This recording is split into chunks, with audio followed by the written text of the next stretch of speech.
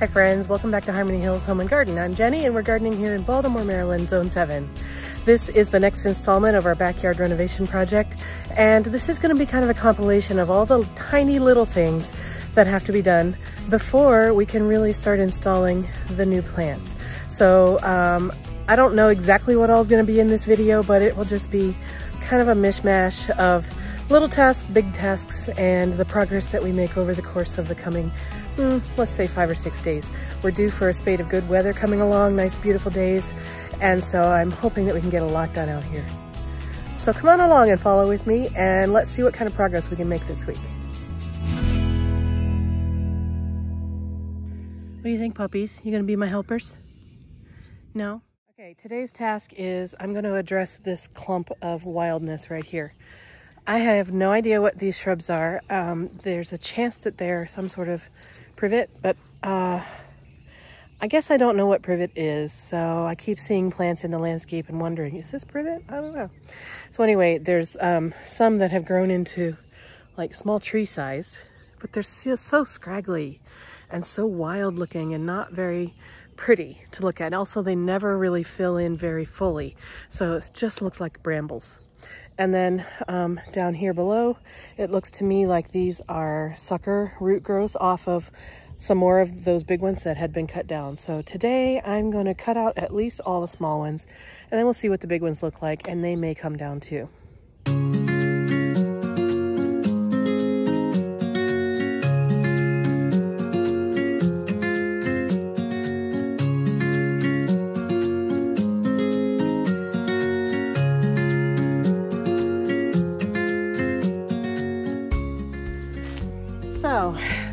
Were so poorly uh, unhealthy that I was able to pull almost all of them out just by the roots. The roots were really shallow, less than six inches deep. And uh, so I'm thinking that the big tall ones aren't any healthier than that. Their roots are probably not very strong either. And it's just a mangy mess. So, I mean, I'll trim off some of the suckers on the bottom of the big trunks and see if that improves anything, but uh, really leaning toward taking out the big ones too.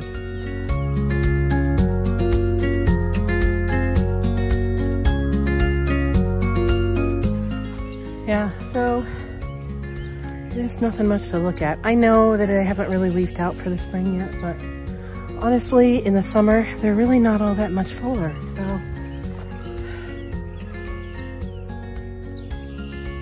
I don't know. Maybe I'll leave it for today and then live with it for a couple of days, see if they leak out any better and come after them later. But I did order a bunch of plants and they're gonna be delivered this week sometime. So next weekend, I'm hoping we'll be able to start some planting down in here. And this area is where I have three emerald green arborvitaes going in in kind of a curve to start defining the new lawn edging. So uh, these trees will be in the way of those. And so I don't know. I'll sleep on it mainly because I'm out of breath right now and I don't really want to get out my handsaw and I don't have a chainsaw. So yeah, I'll let them live there for a little while longer and then we'll decide. Let me get these branches cleaned up.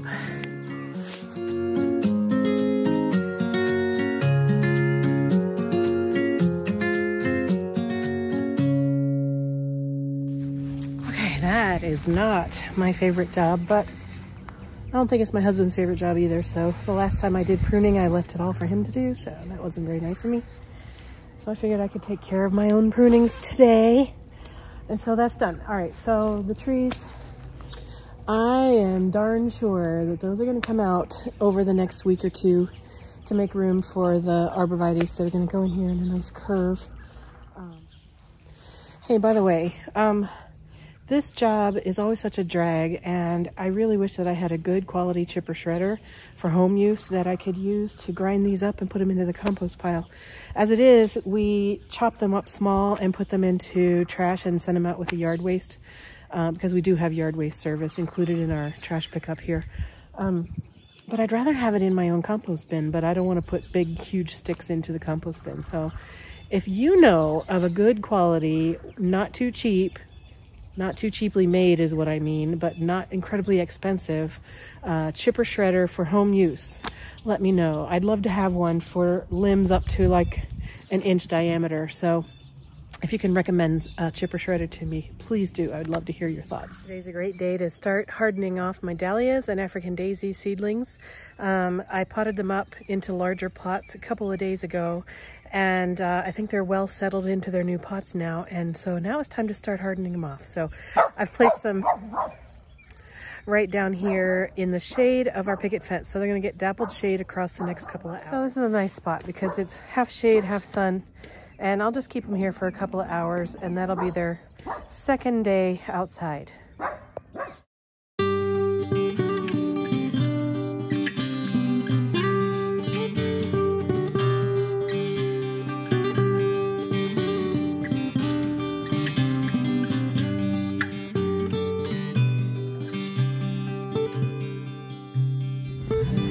So it's exciting times today because I have laid out what I believe is going to be the edge of the planting area in the backyard renovation. I used an orange extension cord to lay down where I think the edges of the beds are gonna be.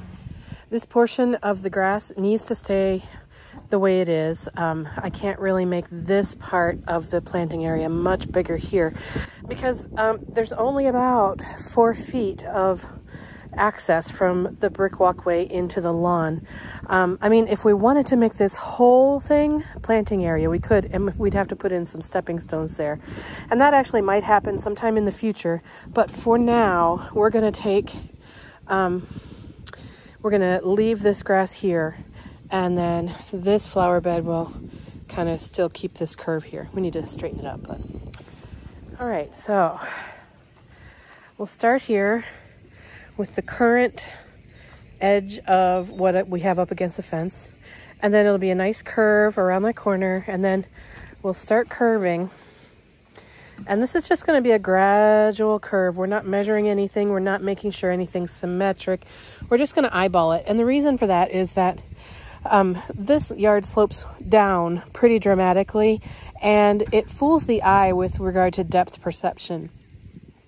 So I feel like even if we did measure out a perfect oval with two focus points and, and do all the measurements, I feel like it still wouldn't matter because if your eye thinks it's good, then it's good on this slopy hill. So we're just going with that theory here. So this is going to be a nice curved edge. We're going to gain all of this planting area right here. I'm planning to put uh, limelight hydrangea right here. And I think it's going to be a lovely accent. It gets a lot of sun here. Um, and I think it's going to be beautiful. It'll get pretty tall. Uh, you know, I think its mature size, it'll be like six feet tall, maybe even taller. Um, but for the first couple of years, it'll be small, of course. Um, so a nice planting area here with this, um, the star of the show here will be the hydrangea. And then I'm thinking about shrub roses or other sorts of things to put in this area, but I haven't made any decisions yet. Okay, and so then we curve down here along the fence. We've decided not to make any straight edges along the fence. We're gonna keep it all curved. And again, you can see how much planting space we're gaining. Right now, the planting space against the fence is about a foot and a half between the fence and the grass. And we're gonna at least double that, but probably significantly increase that at the curve parts all of this area here will be additional planting area. Right now, they haven't come out yet, but we've got dormant astilbe and hosta and uh, liriope and lots of varieties of each of those things in this area right here. And so as soon as they start to come out, I'll be able to pull them up and save them uh, because in this area, we're putting one Dragon Lady Holly here and one back um, kind of between this post and the stage. And so this has to move and all the perennials that are in here probably will have to move. So, but I can't move them if I can't see them. So we got to wait for them to appear before we can do that. All right, so this curve comes along. It goes right up against the front of the stage right here. This is staying. We hold concerts in the summer here um, when we're not in a pandemic situation. But for now, we're using it as a, just a casual place to hang out and sit and take breaks from yard work. Okay, so it'll come off the front of the stage and it'll just be a gentle, gentle curving um, across to this side of the yard. Um, so as I stand here kind of in the center of the yard, the curve will be very gradual. It might actually even look straight to the eye, again, because of the way the slope fools the eye. Um, but it's not going to be very deep off of there. It's going to pretty much just come right off of the stage and start to curve around. We're going to have a trellis, an arbor. I'm thinking it'll be four feet wide, which would be about uh, about there to there, and probably eight feet tall, seven or eight feet tall, which I think in perspective would bring it about about to there. So uh, from this perspective, it would be about that tall and about this wide. And I think two or two and a half feet deep. And so that will be right here. On this side of the trellis, I'm planting a Chinese snowball viburnum.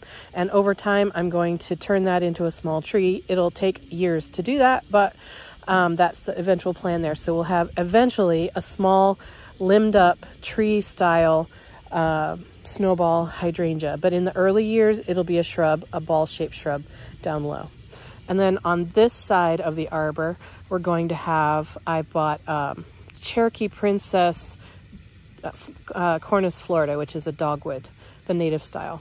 So that'll have light pink uh, flowers in the spring. And again, eventually it'll grow. It'll be about that tall and about this wide on this view. But in the early days, it'll be only about that tall and only about this wide. Um, and then around this way, as we turn the corner, we have this orange um, curve shows us where the grass line will be and the mulch line. And uh, right here, uh, one, two, three, um, I bought arborvitaes, emerald green arborvitaes. Probably, yeah, probably one there, right, roughly where the vinca and the grass meet and then it'll gently follow the curve around. So that'll be tall. Um, I bought the big ones. I think the ones I got are six feet tall already. So eventually those will grow up. I'm going to keep them pruned. They won't get their full size, but um, they will provide some screening around this curve. So when you're sitting up at the top of the yard and you look down this way, it'll hide this structure and it'll contribute to hiding this part of the chain link fence and the gate and a little bit of the house, although not much. Okay, so we've got the three arbs, we've got the um, dogwood tree. I have four azaleas right here that I'm going to pull out and curve them this way. And we're going to have a path that comes from the gate through this way and then through the trellis arbor. So it'll be an S curve. And so those azaleas are going to get moved to be along that S curve. And then I'm still looking for plants to fill in this area. Um, these are two cryptomeria and there's a third behind the fence. Those will grow up and be nice and bushy and hide that house. I bought four skip laurels and they'll go on the outside of the fence around in a cup shape around this pole and the guy wire. So that'll contribute to um, kind of hiding that.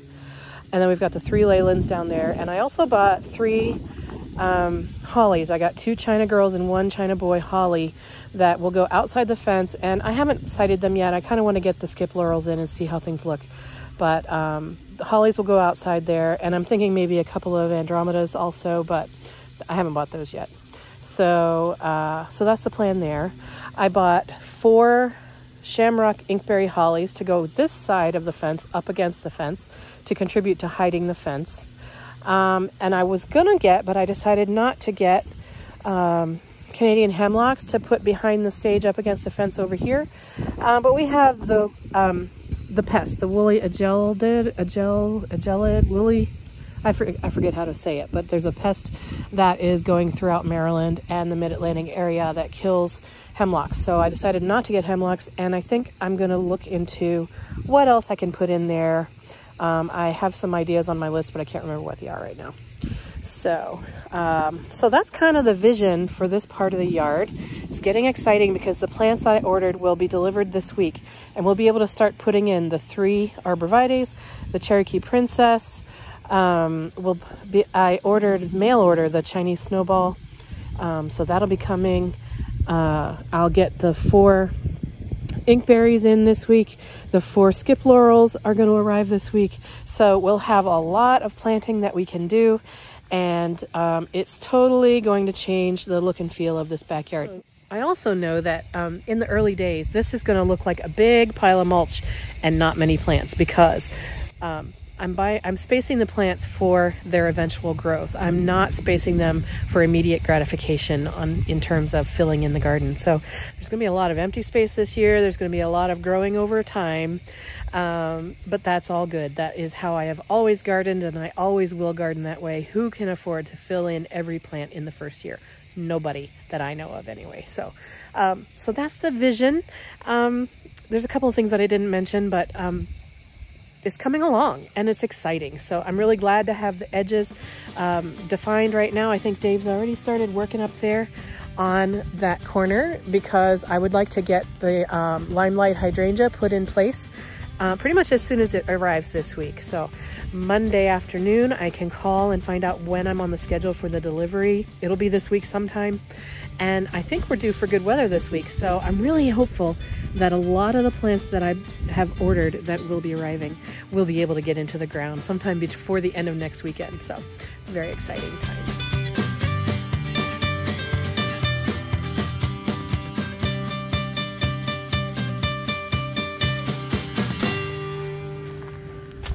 Okay, so we have the edges cut for the new planting area. It is a thing of beauty. We We'll be having this gradual, curvy, oval shape area in the backyard. I really feel like the lawn is gonna look so much more intentional. It's not gonna just be random shapes that were here for the last hundred years or whoever was gardening at what point in time. This is gonna be on purpose, intentional, and purposeful. So I'm very excited. Yay!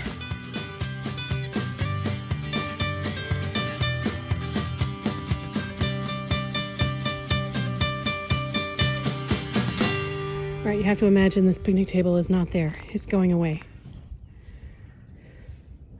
It's starting to come together. One last update for today. Uh, I staked out where my four foot wide and 30 inch deep arbor would go at the edge of the grass and the planting area. It's another beautiful day in the neighborhood. We're having a beautiful string of weather here. Um, it's supposed to get up to the mid 60s Fahrenheit today and clear blue sky, maybe a puffy cloud here or there. Right now it's in the low 50s. Um, and so it's beautiful morning to get out and start doing some things around the yard today. We're having a truckload of mulch and a half a truckload of compost delivered in about an hour. So I need to move all my pots out of the way because this is going to be 17 yards of shredded hardwood mulch and five yards of compost. So let me get moving. Uh, by the way, none of the daffodils that I planted a couple of weeks ago out here are showing any sign of life. So this experiment probably didn't work, but we're still gonna give it time.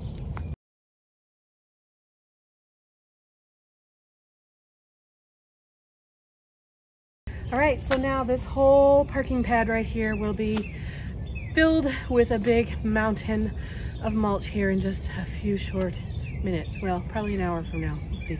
So this is the time of year that my driveway starts to look a little bit like a nursery, a garden center, because I start collecting plants and I store them in pots on the stairs and along this wall um, as they wait for their final destination. Let me show you what I've gathered so far. So here I've got some daffodils and pansies and violas um, violas, I suppose. Um, and these are going to become a gift for some of my good friends. So if my good friends are watching this, close your eyes because it's going to be a surprise for you this weekend. Okay, and then over here, you may have seen this before in a previous video, I can't remember. I picked up two new Candy Tuft. I love Candy Tuft and I haven't had a wonderful success, but I'm gonna try harder to make sure that they get the kind of environment that they need. I think it's a water problem, but I'm not sure.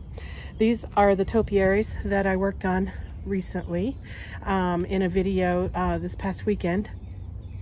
At the top of the stairs is a lemon, no, sorry, that is a golden charm thread branch cypress and that is going to become a six foot tall by three or four feet wide shrub in its adult form but it's going to take a while to get there um, and that's going to go into the backyard renovation somewhere it's not on my planting plan but that doesn't mean that it won't have a beautiful spot I I'm using my planting plan as the basis, but then I am buying other things to fill in when they catch my eye at the nursery. And so here is a case in point.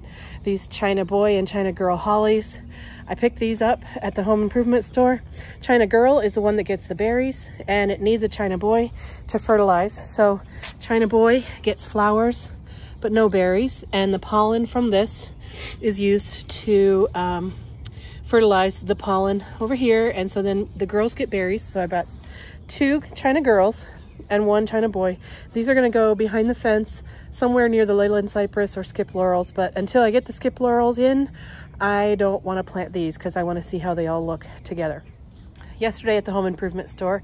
These caught my eye, partly because of the flower. Nothing else at the garden center was really flowering yet, although I know these are uh, these are nursery grown, so um, they uh, are flowering before they would in nature. Um, but I have never had flowering quince before. I think these are gorgeous. And these will um, be beautiful in the landscape. Um, this is Double Take Pink Storm, thornless, which is good. And these will grow to be uh, four to five feet tall and wide. Um, and I am looking forward to having this color. I don't have anything else of this color in my garden. So this is a, a pretty coral kind of orangey, orangey reddish pink. And um, I'm looking forward to how this will fit in. I, I'm thinking I'll put these um, near the emerald green arborvitaes on the north side of the backyard.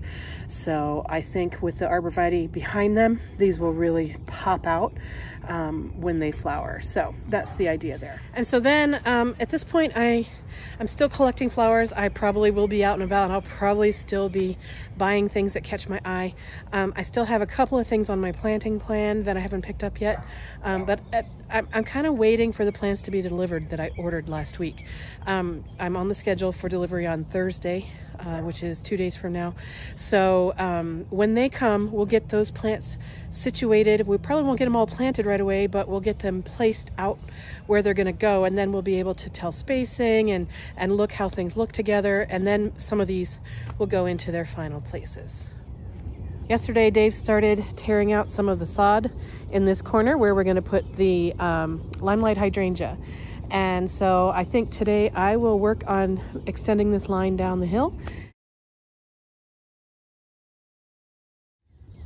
As I was cleaning out the grass and, uh, the sod out of the dirt, um, I found that we're growing moss up here on this hill and I didn't realize that. And so um, it might be pretty, uh, you know, fiddly work, but I think I'm gonna try to save quite a bit of this moss because I have an idea for how I'll use it. I'd like to grow this moss in other places. So I'm gonna go get a container and put some water in it and put these in the water to soak and stay hydrated. And uh, I'll try to save, I don't know, as much as I can.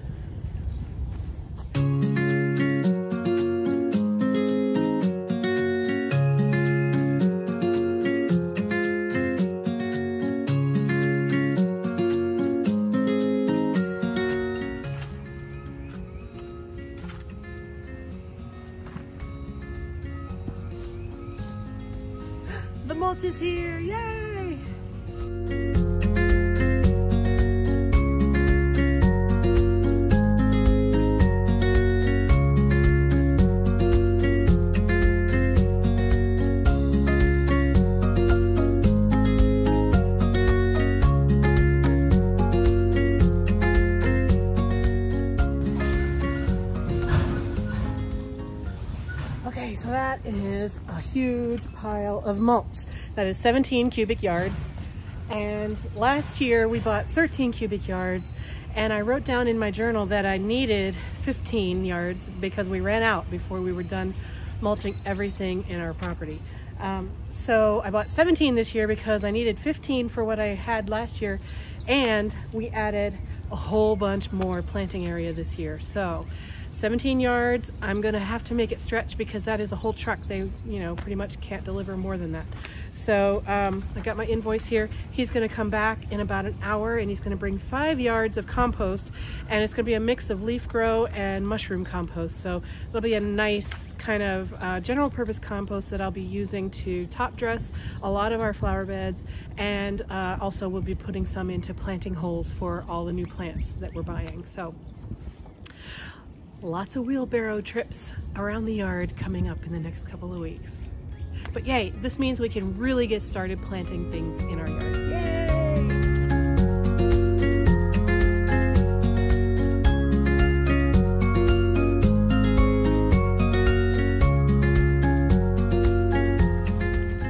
So you can see my method is a little bit um, uh, slow and steady, I guess I would say. Uh, so a couple of things. One, to use a wheelbarrow in the backyard, because of these stairs, we have to roll the wheelbarrow all the way out the front yard, around the side yard, and down to the driveway. So wheelbarrows, while they're very useful in moving large loads at a time, is not useful for me because it's a long way around and it's heavy if it's full. So um, I'm using these five gallon buckets to fill up. I'm just skimming the surface of the soil to pick up the moss and the grass. The grass actually isn't very thick in here. That's why we have moss. So it's actually not terribly hard work. My husband and I have slightly different methods because the areas that he did yesterday on the edges of it, I found a little bit of stuff that I wanted to get out, but that's okay. He and I do things differently, but complementary, and it all works out in the end. So, um, but from here, here down, I should be able to just skim off that top layer, put it in the bucket, and then carry the buckets down two at a time. We're putting them down on the compost bin, and then when that gets too full, um, we're just gonna make a pile on what looks to be your left side of the compost bin right up against it. And that'll be where we put this uh, lawn waste. I know we're gonna have a lot of it. Now you might be thinking, why aren't we using no dig, Jenny? And we thought about using no dig, and it's something that I would like to try on a experimental basis somewhere else in the yard in the future. But because we're planting this right away and I didn't think ahead and um, I just don't, I don't want to be planting into a brand new no dig thing. I want to be able to put down the cardboard, put down the soil and let it stay there for a few months or maybe even over the winter uh, before I try to plant into it. Um, so we're not going to be using no dig anywhere in the backyard project this season. However, I do believe looking ahead, after we get the backyard kind of done, although is a garden never done, um, after we get this main project done this season, toward the fall, I'll probably out in front of the gate on the north side of our property, on the property line between us and our next door neighbors, I'll probably start a no dig bed up there. And um, and then next spring we'll plant into it. So that's kind of my thought on no dig. I've never done it that way before and I, I don't want to have a, a, new garden that I didn't prepare properly um, and rely on that no dig method. So what we've decided to do is just do what we're doing here, take the sod out little bits at a time and um, and actually when it comes time to planting in the new planting space down at the bottom, one thought is that we're just going to Find the places where the new plants go. Tear out the sod in that circle, plant the new plant, and then over time, uh, dig out the grass around it. So there's no rush. Um, the only thing I think is that we do want to get the mulch spread, but I mean, last year's um, mulch pile was there for six weeks before we finished spreading it. So I think between now and the next four to six weeks, we'll be able to plant the stuff down there that we've bought so far and then gradually work the soil, um, get that lawn out. So that was a very long, rambling way to say, I'm gonna dig some more sod up.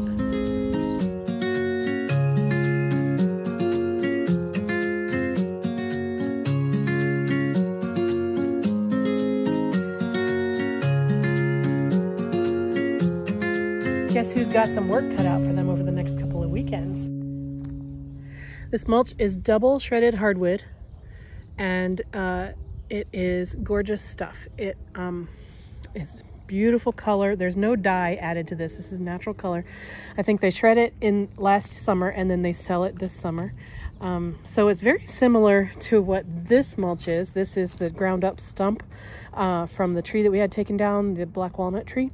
So this kind of thing turns into this after you uh, leave it over the winter. And then down here, we've got five cubic yards of compost. This is a combination, actually, it's a nice mix of mushroom compost, LeafGro, and topsoil. So I think he said there was two and a half yards of mushroom, one and a half yards of LeafGro, and one yard of topsoil in that mix. So it's beautiful. It's got good nutrition. It's got nice lofty um, texture and I can use this directly as a potting soil in containers if I wanted or I could add some peat moss to it or um, you know just garden soil or whatever but um, yeah this is a great mix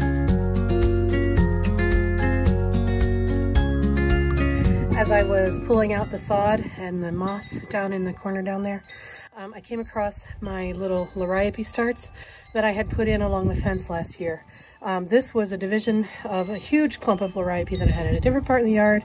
I divided it up into individual little sprigs because I know that um, over time it will grow into a nice big clump. And I had put them down along the fence down there. So I have all these little liriope things that are coming up out of the soil. They're not going to be there for the long term. I need to save them though. So I'm going to um, just put them into some of that brand new pile of compost that I got and just store them in this compost for until I decide where they're going to end up.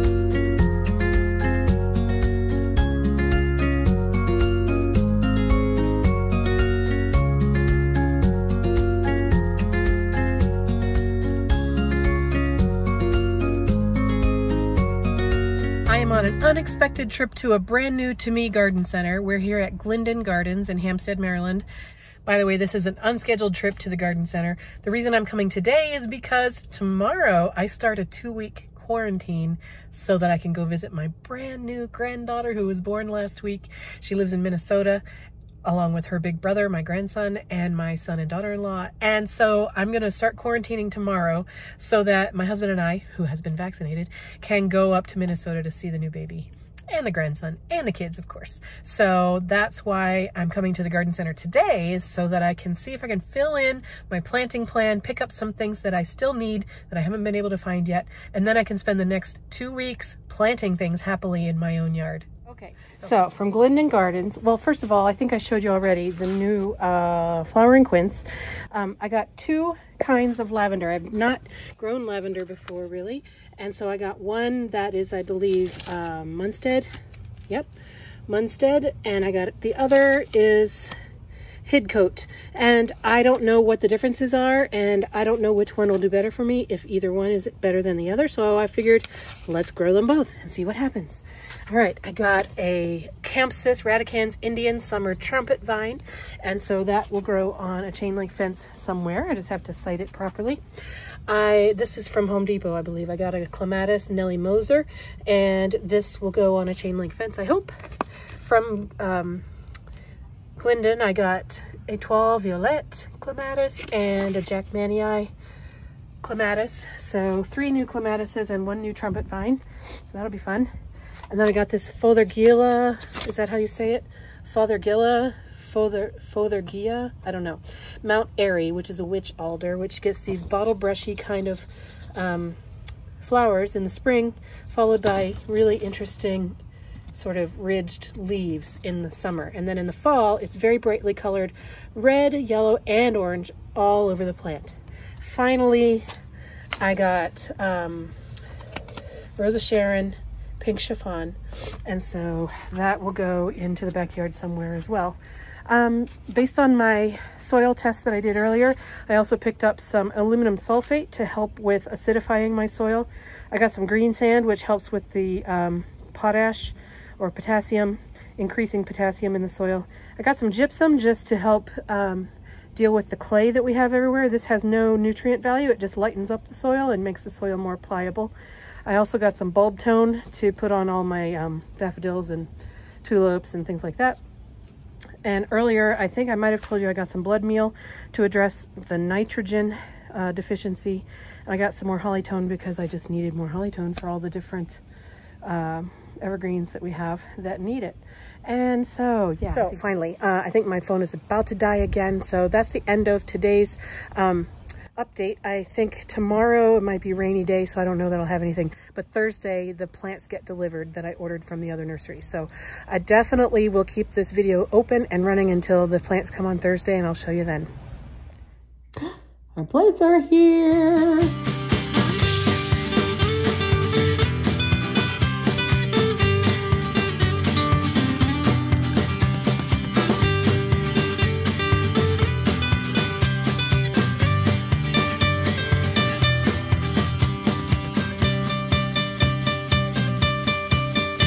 Well, it's a very exciting day here at Harmony Hills because my plant order was delivered. Let me show you what we got. Ah, it's a thing of beauty. Look at all these beautiful green plants, evergreens, just waiting to be put into the ground. Ah, so lovely. We've got three emerald green arborvitaes. These are really nice, tall specimens. These are both, th I'm sorry, all three of them are, well, let me just pull one up. They're all bigger than um, six feet tall already. So look at that. Oh, it's just good. Actually, I'm going to say that's eight feet tall because I'm five four, and that is really tall. Let's see if it'll stand on its own. Uh, yeah, I'll just do real quick. look at that. Oh, beautiful. Got three of those. All right lay you back down there, little one. Oh, very nice. Okay. Three of those. Emerald green arborvitae. These are the skip laurel. These, there's four of these. These will grow eventually uh, to be eight to 10 feet tall, four to five feet wide, I think. Maybe a little wider if you leave them, but I think we're gonna probably prune them, keep them around four feet. Um, they're nice, beautiful evergreen. And in the spring, this one is just full of flower clusters. Um, nice, beautiful. Actually, they're not very showy, but the thing about these flowers is that they smell so good. And so that's going to be a wonderfully scented um, evergreen screen. We're going to use that to hide some of the power pole situation back there. Here are my dragon ladies. Maybe we'll call them Daenerys. I don't know. Mother of dragons. I don't know. They're super pokey I love this plant because it's got an interesting color of green on the leaves. I don't know, it, it comes off as a little bit darker than some of the other hollies. Like this is new growth this season, but the older growth is darker. It does have the veining, which is really interesting. It adds a lot of variety to the leaves. So yellow veining and a little bit of yellow edges. And then the thing that's interesting about this holly is that this white trunk shows through and um, so the branches are not fully like lush covering the whole trunk. The trunk will show through and it'll be this like dappled views of the trunk as it grows. And she'll get red berries in the winter. And um, we do have to have a male plant nearby to pollinate the berries, um, fertilize them so that they turn in to po pollinate and fertilize the flowers so that they turn into berries. Um, and so we don't have to have uh, the same variety. So we're using a China boy holly in the vicinity to pollinate these. So in the first year, while the China boy is small, these ladies might not get as many berries on them as they will in the future, but they'll definitely have red berries on them. So that'll be nice. Okay, we got the Cherokee Princess Dogwood. This is Cornus, Florida. Cherokee Princess. And this is the one that I was looking for pink flowers. And the guy who was showing me around the nursery assured me that this gets pink flowers. But I looked it up online and also if I had read this tag, then I would have seen the flowers are white. So we'll have a white flowering dogwood. It'll be fine. It'll get red berries in the fall. And this one, I, partic I picked this particular plant out of all the choices because it had a nice branching structure, but mainly because look, comes with its very own praying mantis cocoon. So we're gonna have praying mantises in the yard this year. That'll be so fun. That's cool. I'm excited about that. Four inkberry hollies. These are the shamrock variety. They get a little bit of bare legs at the bottom and then the top is where the growth is centered. And so these are gonna go along the chain link fence behind the hammock, down the hill in the backyard. And here's my beautiful limelight I've never had a limelight hydrangea and I'm looking forward to having one. This one has beautiful three trunk situation going on in there. So over time we'll be able to limb it up if we want, turn it into a small tree, or we can keep it as a shrub all the way down on the ground and I'll make that decision as it grows. Um, this is a really nice specimen. It's been nicely pruned and it does have its leaf nodes coming on. So uh, we know this is a nice nice healthy specimen. It's going to be really lovely up in the corner of the fence area. And I think that's what we got. So um, the next task is to get these moved into the backyard and placed into their situated uh, locations and see how they look. It's gonna look like there's hardly anything there um, because it's a big yard and a small number of plants in the grand scheme, but it's still an exciting day. So let me get moving.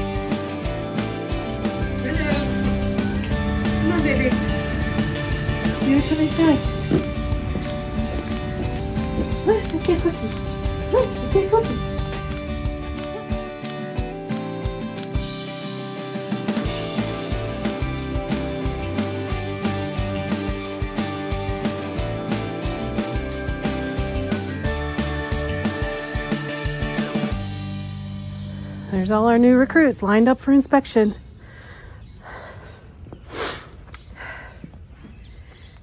Inkberry Holly, Shamrock variety, Dragon Lady Holly, Dragon Lady Holly, Cherokee Princess Dogwood, and our new praying mantis babies soon to come, and four skip laurels think I'm definitely going to wait for Dave to get home to help me move those arborvitae. They're eight feet tall with bound and burlapped, balled and burlapped roots, so they're a little bit beyond my wheelbarrow abilities, I believe. So, oh, and the uh, limelight hydrangea I've already placed over in its spot. Let's go. Look. There it is. Looks pretty small and dinky compared to the space we've given her, but uh, I think that's going to be a beautiful shrub to put in this corner here. It'll get uh, four to six feet wide and six to eight feet tall, although you can prune it to keep it in control below those sizes. So that'll be the centerpiece of this corner. Yay!